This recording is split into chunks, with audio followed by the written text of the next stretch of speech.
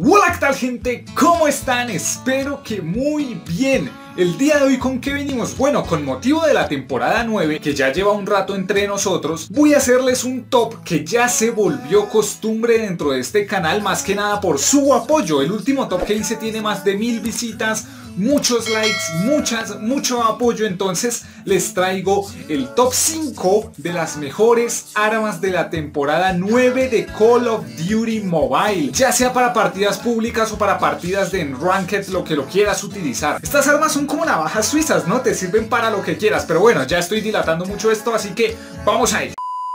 En el número 5 tenemos la DRH, la SCAR para los amigos. Y es que desde que la metieron en el juego este arma está muy pero que muy fuerte, caracterizándose principalmente por dos cosas, su muy alto daño y su cargador reducido, si me entienden, 20 balas no sé a quién le alcanzan. Ese es el único problema que tiene, además de un retroceso también bastante fuerte, cosa que recalcamos en el top anterior, que por si no lo han visto, lo tendrán aquí arriba en una tarjetita o algo del estilo. Pero ahora con la incorporación del armero, del Gunsmith para los amigos, podemos personalizar el arma como queramos, absolutamente como queramos. Y esta Scar cuenta con un accesorio muy pero que muy importante. Y es que si bien nos quita movilidad, ganamos mucho, pero mucho retroceso, dejándonos un arma que por su daño mata muy rápido y con un, y con un alcance, con una precisión brutales. Eso sí, les tengo que decir algo, ¿no? Este arma, por lo de las balas, no alcanza para encadenar muchas bajas seguidas, digamos. Yo en una partida estos días estaba jugando con mi LK40, que se los digo es mi arma favorita, digo LK24, se parece mucho a la ACR de Modern Warfare. ¿Y qué pasó? Se me pusieron 5 enemigos delante, estábamos en 10 versus 10 y los maté a los 5 con un solo cargador porque me puse el cargador de 40 balas.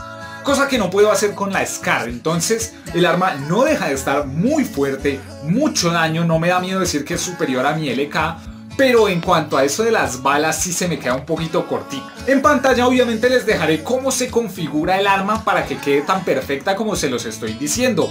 Y ya, esto queda a su gusto personal, pero una cosa sí es verdad y es que este arma está entre los 5 más fuertes.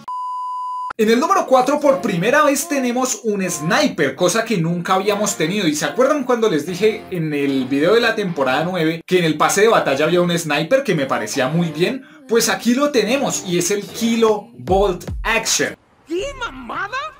Es el mejor nombre de la vida. CAR 98 para los amigos. Y es que este arma llegó pisando muy duro porque es un arma con unas características especiales.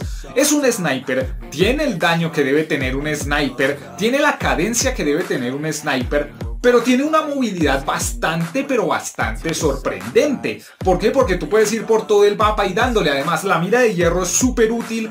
Si le quieres poner alguna otra mira también. La verdad, la verdad es que pareciera un fusil como la FAL, de tiro a tiro, pero un poquito más lento.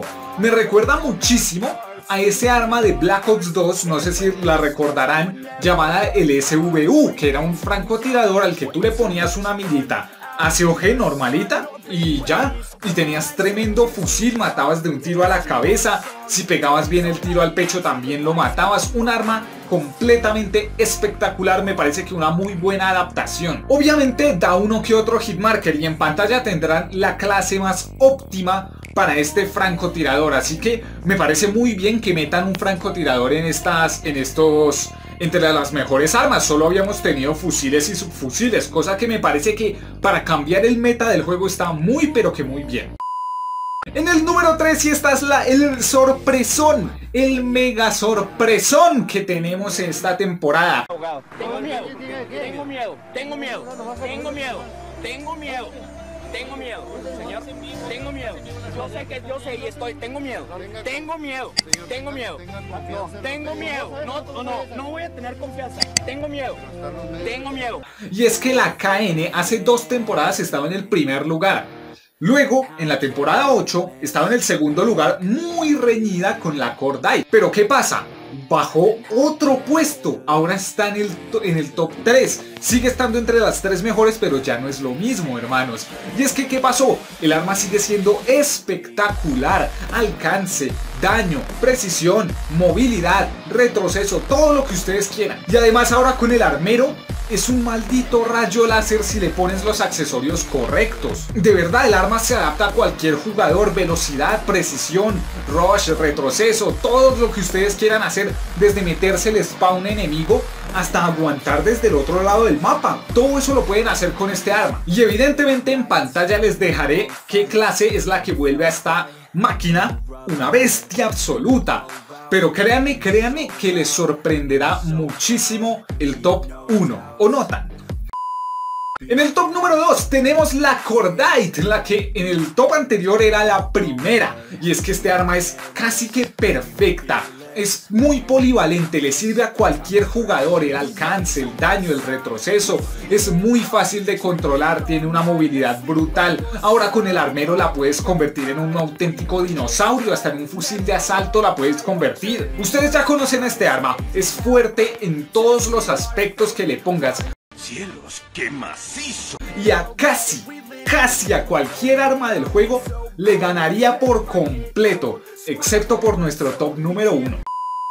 Y bueno, tenemos menciones honoríficas, cosa que no suelo poner aquí, pero me parece que va bastante bien, porque he visto por ahí mucha gente que menciona ciertas armas que muchos no toman en cuenta, pero la verdad es que también están muy fuertes. Recuerden, estas son armas que están muy pero que muy fuertes, que no alcanzaron a entrar en el top, pero de igual manera merecen una mención. Y estas son la M4, mi LK24, la GKS y el AK-117. Cuatro menciones espectaculares. Estas armas son están casi al nivel de estas, evidentemente un escalón por debajo, pero aún así son unas máquinas. Y ahora sí, sin más dilación, vamos con el top número uno. Y es que, ¡ay Dios mío! ¡ay Dios mío! El mundo se dio la vuelta, el mundo está al revés, yo no sé qué pasó. Este arma hace una temporada era el top 7 y ahora es el top 1. Así es, les hablo de la QQ 9. Les hablo de la QQ 9.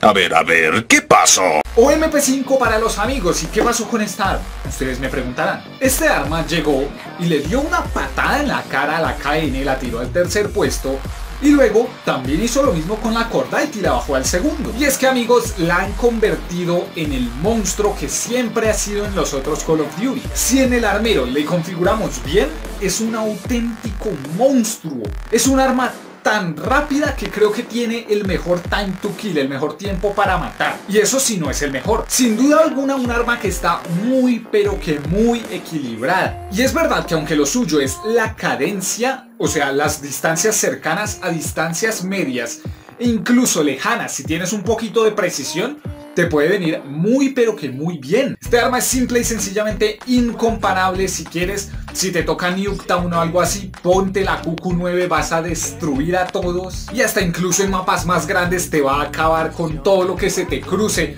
Así que sin duda alguna, ponte la QQ9 porque esta es nuestra nueva reina. Y bueno amigos, eso es todo. Estos videos siempre son bastante cortitos. Esta vez trate de meter un poquito más de armas, platicarles un poquito más, meterles la configuración de las armas que me parece la ideal. Y bueno, ahora es su turno. Déjenme en los comentarios qué les parece este top, si están de acuerdo, si están en contra, si tu arma estuvo, si tu arma no estuvo, qué armas hubieras metido, qué armas hubieras sacado cosas así del estilo. Por favor no olvides apoyar este video si te gustó y traeré así una parte, una nueva parte de este video en la temporada 10.